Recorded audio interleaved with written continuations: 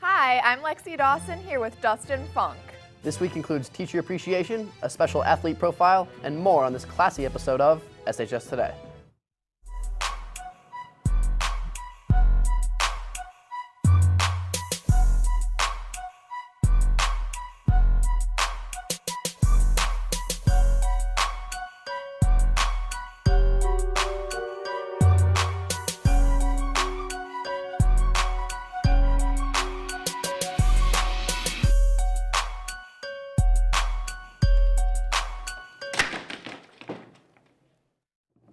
Next September, as part of an independent study, our own Lindsay Zinbarg is producing the play The Diary of Anne Frank. Auditions will be held Tuesday, May 21st and Wednesday, May 22nd in the SHS Black Box Theater from 3 to 5 p.m.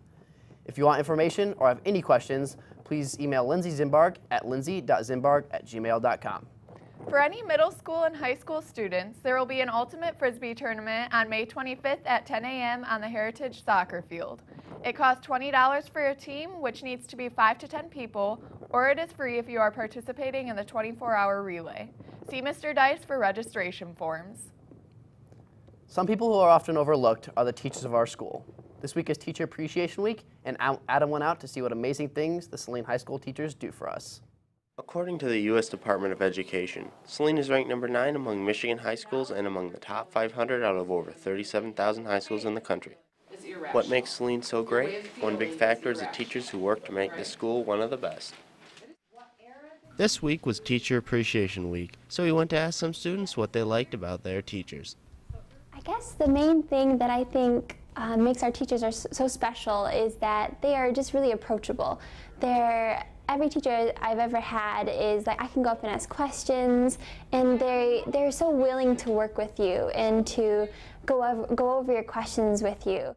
What I like about the teachers of Saline High School are they're always very prepared for their class. They always have relevant subject matter to be teaching the students. They're always willing to lend a hand to help out students that are struggling by either staying before or after school. And they're just generally really nice people and they're always willing to go the extra mile to help out students. Now we went out to interview Mrs. Helper to get her thoughts on our teachers. One of the things that makes me most proud about being the principal of this high school is being able to work with the teachers. They're very serious about what they do. Um, I see a lot of caring attitudes. Um, the interactions that the teachers have with the students are positive, and it's just walking along the halls or being in the classrooms and watching the interactions they have with students um, is really what impress, impresses me most. They, this is a very busy time of the year, and they continue to work hard for, for all of you, the students, and um, that makes me very proud. Throughout the week, the teachers receive snacks and gifts to brighten their day, provided by the PTO, Student Council, and the administration. I'm Adam Devling. Back to you in the studio.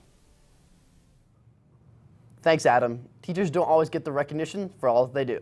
From the crew here at SHS Today, we would like to thank the teachers for all their hard work and dedication. Next Wednesday, on May 15th, Senior Grammy Night is being held in the SHS Auditorium at 7 p.m. This is the event where seniors will be recognized for their accomplishments made throughout the year. If you are a senior and have any photos you would like to submit for the slideshow, email them to seniorgrammynight at gmail.com. Come support and honor your graduating seniors as we recognize all the achievements of the class of 2013. Some people that may be recognized at Senior Grammy Night may be the members of our SHS sports teams. Which brings us to sports and weather. Let's see what David has for us today.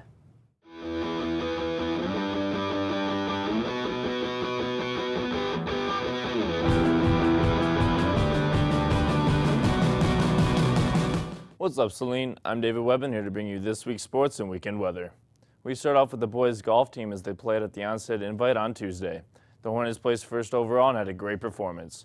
Leaders for the team were Caleb Wittig with the score of 74 and Ryan Peruski and Matt Durella had the score of 76. The next outing for the Hornets is at Tecumseh on Monday. The ladies soccer team went up against Skyline at home on Monday. The Hornets came out with a almost came out with a victory, but Skyline had other plans as they scored with five minutes left. The game ended in a tie with a score of 1 to 1, and the score for the Hornets was Caitlin Ellis. The next game for the ladies is Saturday at home against Northville. Mile after mile, two of our Hornet runners have achieved a milestone in their running career, 5,000 miles. Nia got the opportunity to interview these dedicated runners.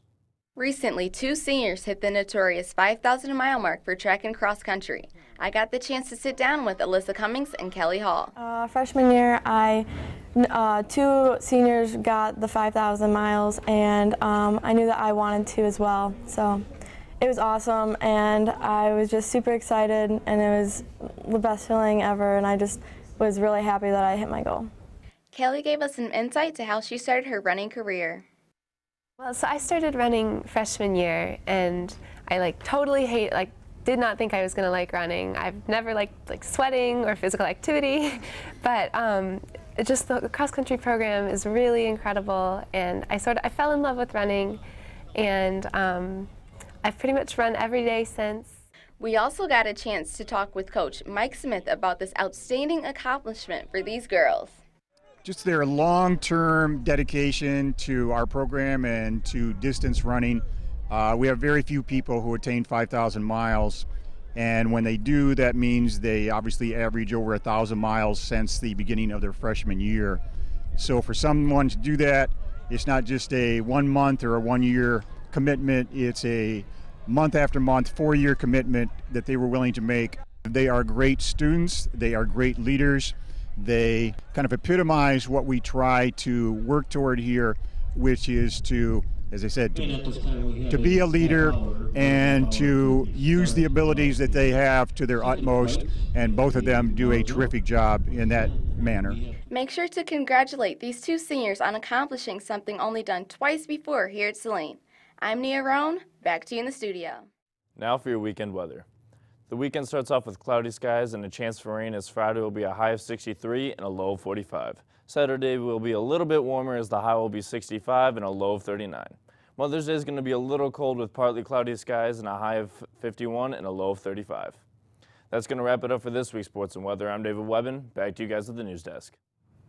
Thanks, David. Well, that's all the time that we have for this week's show. I'm Lexie Dawson. And I'm Dustin Funk. Stay classy,